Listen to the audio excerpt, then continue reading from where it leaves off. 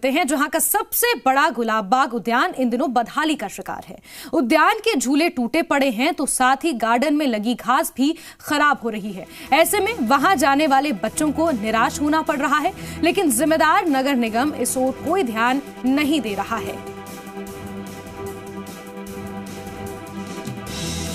सीधे रुक करेंगे। हमारे सहयोगी अविनाश जगनावत का इसी खबर पर ज़्यादा जानकारियों के साथ उदयपुर से जुड़ चुके हैं।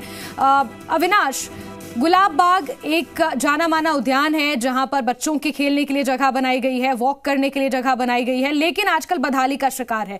नगर निगम की लापरवाही सामने आ रही है, क्या वजह है?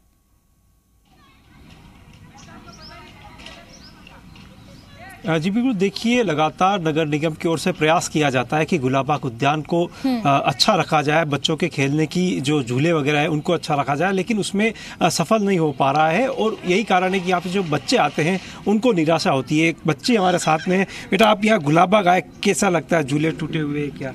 झूले जो है ना हम जब आते हैं तब झूले टूटे हुए होते हैं और फिर हम जब झूलते तो फिर कभी कभी तो हम गिर ही जाते हैं। तो अगर ये सही होगा तो हम अच्छे से खेल सकते हैं। अच्छा तो अच्छा नहीं लगता अभी?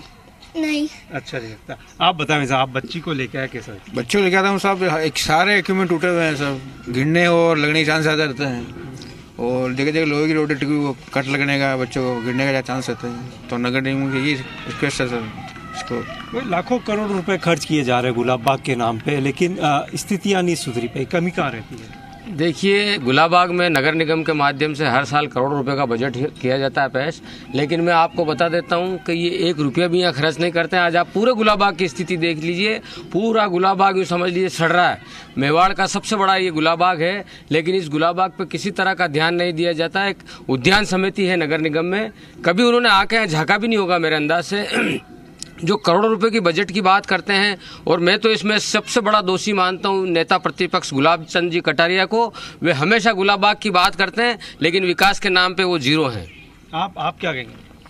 मैं कहना चाहता हूँ कि इतना छो, छोटे छोटे जो लोग हैं छोटे छोटे पार्क हैं वो इतना बढ़िया मेंटेन है जबकि उनके पास बजट भी नहीं है गोद लिए होते हैं इससे लाख गुना अच्छे हैं और इतना बजट होने के बाद भी इस गुलाबा की ये कंडीशन है कि कोई इसमें सूद लेने वाला नहीं है और जितना भी काम करें ना हर काम में फेल हो रहे हैं।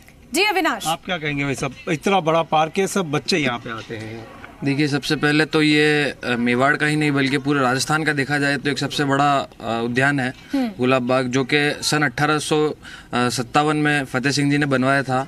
इतना पुराना होने जी, के बाद भी ये मतलब इतना बेहतरीन ऑक्सीजन पॉकेट है जगह है लेकिन लेकिन जिस तरह से बच्चों को हम हमेशा कहते हैं कि मोबाइल की दुनिया से बाहर निकलकर 25 साल से भी आउटडोर आना चाहिए लेकिन जब उद्यानों की स्थिति इस तरह की होगी तो फिर बच्चों के पास क्या विकल्प रह जाएगा ये अपने आप में बड़ा सवाल है। बहुत शुक्रिया